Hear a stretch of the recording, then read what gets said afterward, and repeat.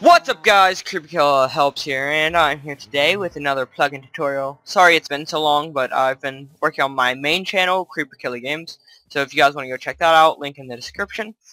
Uh, so yeah, let's just go ahead and get right into this. The command I'm showing off today is, uh, blocked command. So yeah, first off we need to go ahead and, to start off, we need to go to our, um, server directory, so I'll meet you guys there.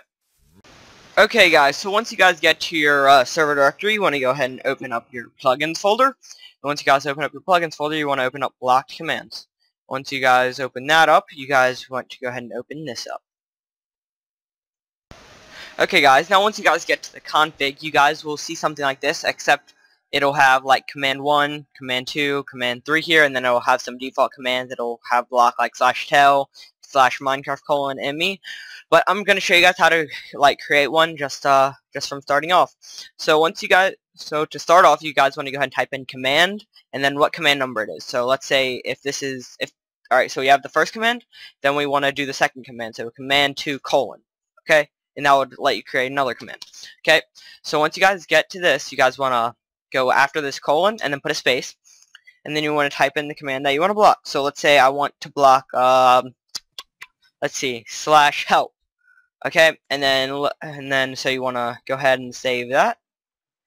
Alright then uh or or actually you guys can even do multiple you guys can do multiple commands as well. So command 2 colon let's say you want to block slash minecraft colon me or command 3 colon uh slash um command thing I don't know. Just you just type in what you're all you do is type in command and then the number of the command colon and then put a space and then type in slash and then the command. Okay, so go ahead and save that and then yeah, we'll, I'll meet guys back in Minecraft. Okay guys, so now once you guys get back into Minecraft, you want to go ahead and uh, slash do slash re oops, de out myself. You want to do uh, slash uh, you want to do slash reload. Okay, once or or restart the server depending on what you like to do. I just prefer to reload because it's a bit quicker. Then you guys want to see, as you guys can see, I have Minecraft colon uh, colon me, and then I can type what I want.